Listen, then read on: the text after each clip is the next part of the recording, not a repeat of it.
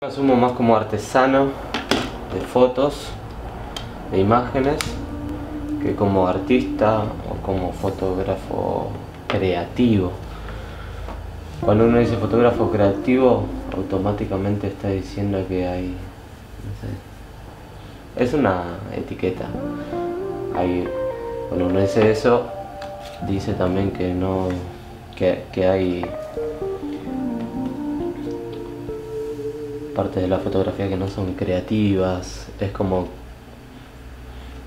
desprestigiar a la fotografía como herramienta de expresión.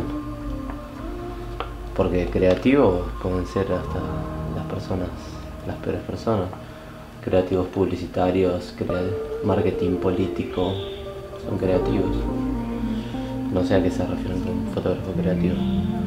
Pero creo que soy artesano. Me gusta hacerlas, crear las imágenes.